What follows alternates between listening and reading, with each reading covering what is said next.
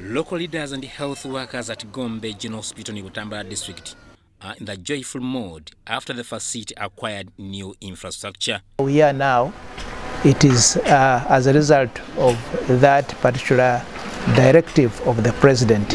Really grateful for this worker because we have realized and learned very many lessons. One of them, you can realize value for money from a better supervised work. Due to lack of accommodation, some health workers at Gombe General Hospital had been commuting from home and reporting late for duty.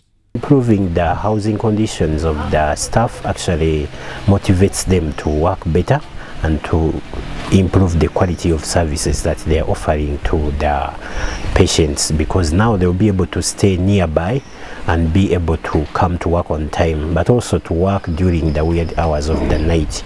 With the addition of 56 units, this issue is likely to come to an end. We have emergencies any time of the day.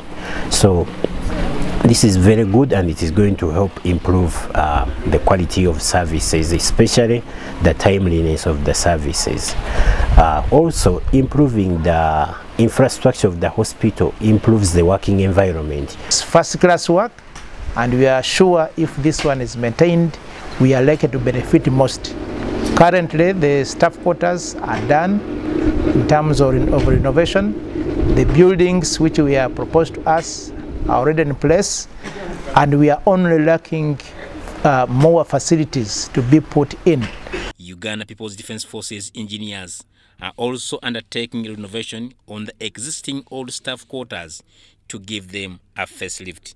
Where you have really changed the image and I know if we had the people who are patriotic.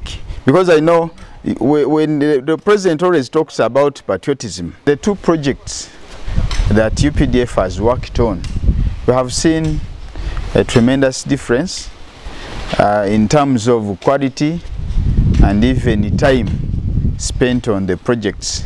12 billion shillings were earmarked for the renovation and construction of a fully equipped maternity ward and new staff quarters at Gombe General Hospital. Contract was to build the MCH and uh, the staff houses.